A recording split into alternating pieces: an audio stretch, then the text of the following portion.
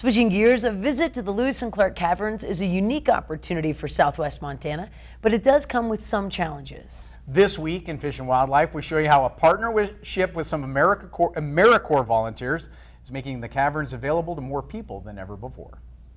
This week in Fish and Wildlife, sponsored by your local Montana Toyota dealers.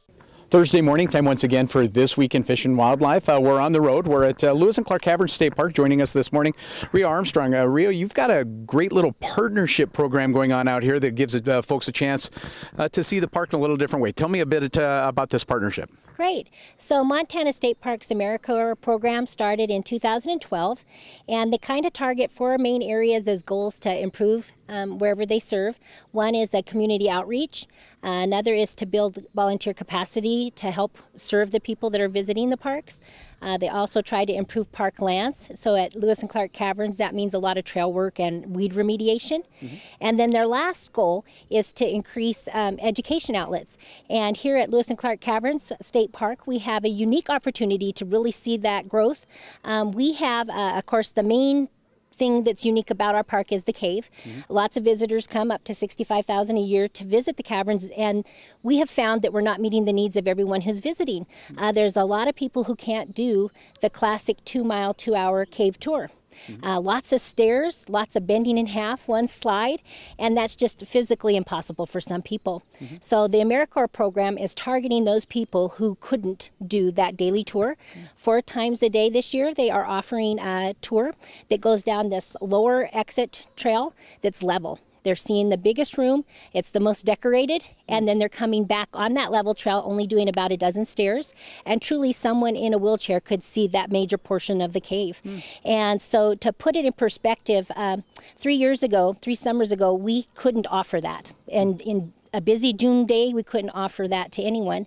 Uh, last year, when we first started that program, we served almost 300 visitors, and this year we did almost 700. So that AmeriCorps program is really targeting a need that we need at Montana State Parks. Yeah, that uh, partnership, it seems to me that uh, you're opening this uh, opportunity up to folks that, like you said, it would just be virtually impossible to see the caverns uh, uh, without that partnership. I, it just doesn't happen. Right. And so I think that's exactly what this program was made is what could you do if you had more people in the parks? And so these people are serving us well.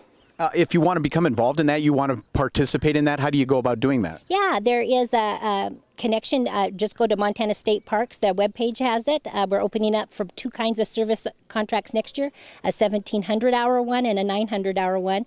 And they're going to open up in just a little over a month. So just go to the webpage, yeah. And if uh, you want to participate in the tour and, and be a part of that, how do you do that? So you just come directly to the park. It's first come, first served. Uh, you sell tickets and, and you just go on the next one that we can meet your needs. Mm-hmm. The Paradise Tours are offered at 1030, noon, two, and four. But come a good half hour early, they seem to be popular. uh, been really popular this summer. You were telling me the uh, n- uh, numbers are doing very well here at uh, Lewis and Clark Cavern. So last month we did almost 10% uh, higher than the year before for sales of tour tickets. So definitely a, a good visiting spot. That's phenomenal. Uh, Rhea Armstrong joining us this morning uh, at the Lewis and Clark Cavern State Park. Uh, Rhea, thank you very much. This Week in Fish and Wildlife was brought to you by Toyota. Let's go places.